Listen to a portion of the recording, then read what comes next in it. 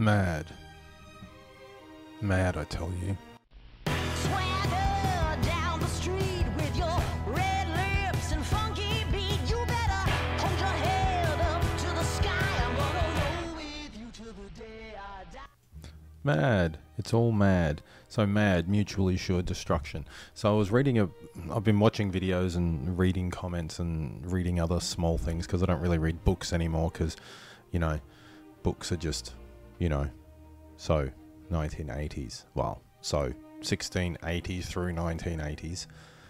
So I haven't really been read. I don't don't necessarily. I've got a bunch of books to read, and I might have to get back into it because I'm going to be having to do a lot of reading in uni.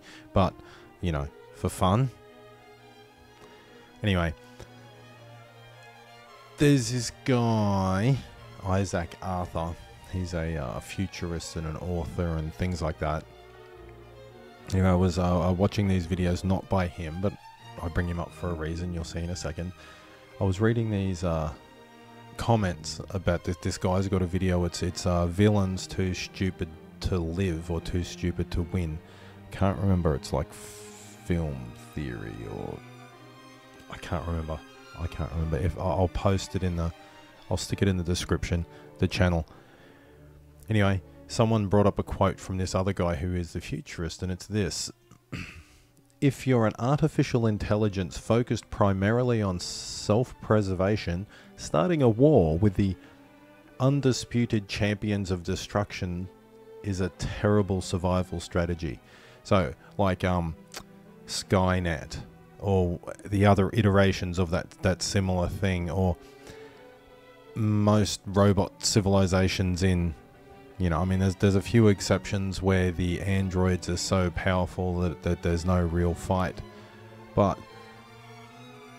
humans, a lot of humans, not all, but a lot of humans have this um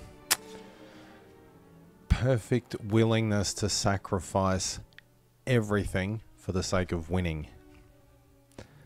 So you notice it in everyday life. People are willing to sacrifice a ticket danger, everything to get through that red light that they could just wait a couple minutes for. I mean, I had a rant about it the other day here.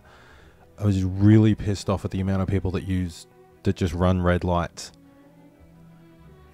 I run orange, and when I'm in the intersection, it might turn red, but that's not running a red light. I know semantics, semantics, but I'm talking really, really red lights.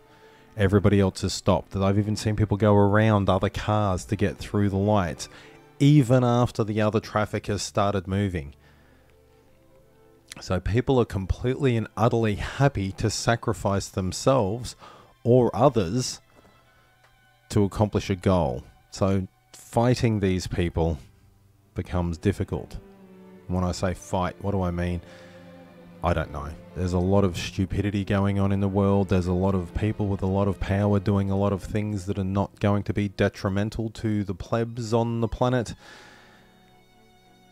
And somehow I'm going to have to side with people that I fundamentally and morally disagree with 90% of what they do because most people are out for themselves. My whole life, well, my whole life since I've been with my, my wife, has been how we're we going to deal with her parents getting older when they can't look after themselves. When one of them passes away they they've got this really from the outside looking in it seems a bit shit sometimes but there's this symbiotic thing going on where they both do certain tasks really really really well but I don't know if the other one would be able to do those tasks by themselves and vice versa which means somebody else would have to come in and I was happy for it to be us. Oh great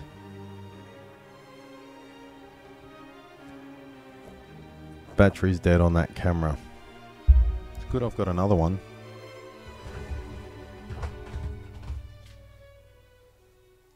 Came from a second-hand shop for like 20 bucks. Doesn't have a charger, the battery's flat. We'll see what happens.